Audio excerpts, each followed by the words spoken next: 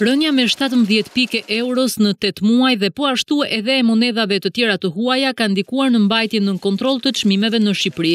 Sipas Erald Themeli, drejtori i Departamentit të Politikës Monetare në Bankën e Shqipërisë, kjo ka bërë që inflacioni në vendin tonë të jetë më i ulët nga shtetet e tjera. Forcimi i kursit të këmbimit na ka mundësuar të absorbojmë një pjesë të presioneve të larta inflacioniste nga tregu i huaj. Megjithatë, ai shprehet se ecuria e kursit të këmbimit do të jetë një nga pikat që do të analizohet në vendimmarrjen e ardhshme.